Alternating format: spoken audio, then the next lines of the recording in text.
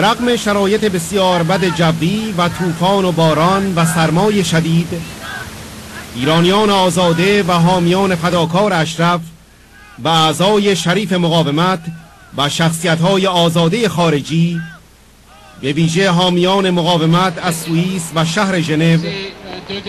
در مقابل باران شدید و طوفان و سرما با تن و جان خیش برای حفاظت از مجاهدان اشرف ایستادگی کردند و برای مقاومت و آزادی فریاد زدند.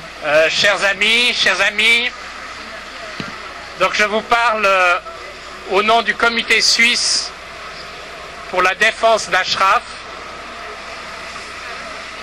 كما وول ساوی نو سوم دیسی دوون لو Haut Commissariat aux droits de l'homme à cause de l'immense responsabilité de cet euh, organisme international dans la situation dramatique que connaît aujourd'hui le camp d'Ashraf. Je dois dire que la situation est devenue vraiment maintenant dramatique en ce jour ici à Genève où on connaît une tempête incroyable, ce qui est très rare dans notre pays, tempête qui est certainement le signe de la colère divine contre le gouvernement irakien et contre le gouvernement des Mollahs.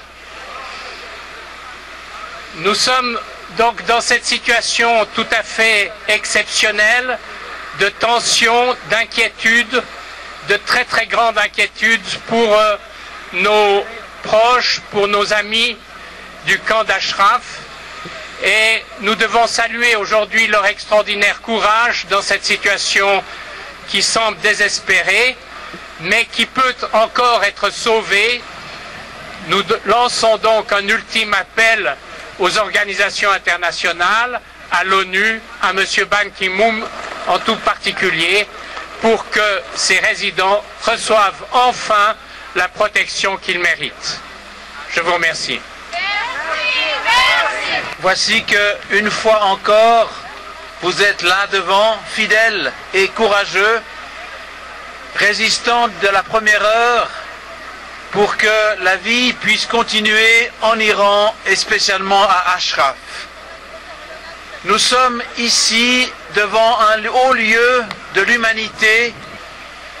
J'ajoute ma voix à celle de mon prédécesseur pour inviter l'ONU, le HCR, le Haut Commissariat aux droits de l'homme à persister et à faire encore plus pour se faire entendre auprès des grands de ce monde. من اینجا ضمن سلام به اشرفی ها با احترام با تعظیم به دختر جوانی که گفت تا آخر ایستاده ایم و با تعظیم به مادر بزرگ اون دختر مرزیه و مرزیه هایی که در میان ما هستن نسل های مختلف. یک عهدی رو امروز بیان می‌کنم خطاب به اونهایی که در این مسئله مسئولیت دارن. خطاب به آقای اوباما. خطاب به رئیس ملل متحد.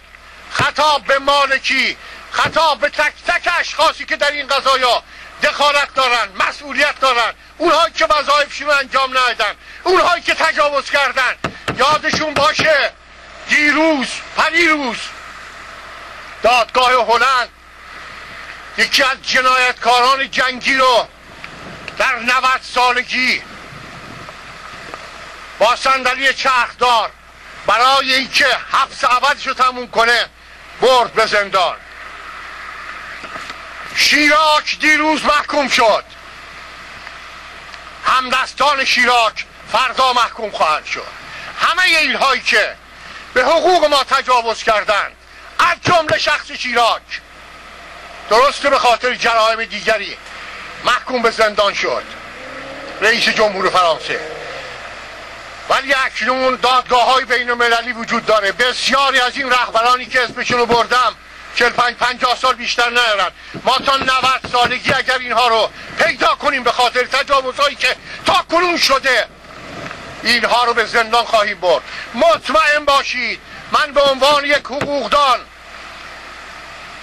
به عنوان آدمی که پنجاه سال در میدان مبارزه هستم قول میدم که اگر ما زنده نبودیم بچه های ما اینها رو تحقیق خواهند کرد. دیگر نمی‌تونن خون ریزی ها تجاوز ها رو ادامه بدن. اشرف و اشرفی ها پایدار خواهند بود. اینها اساسشون در قلب و آرزوهای هفتاد میلیون ایرانیه.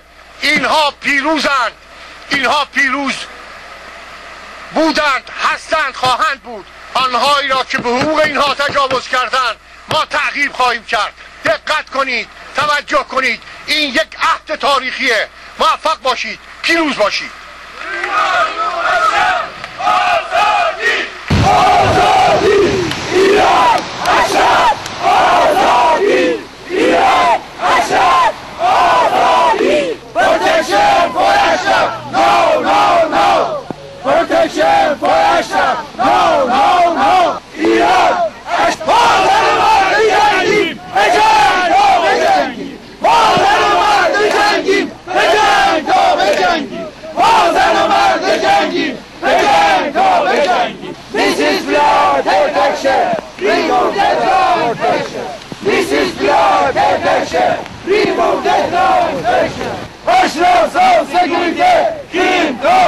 equality. This is Pilar, take We move that round passion. This is Pilar, take We move that round passion. We want remove that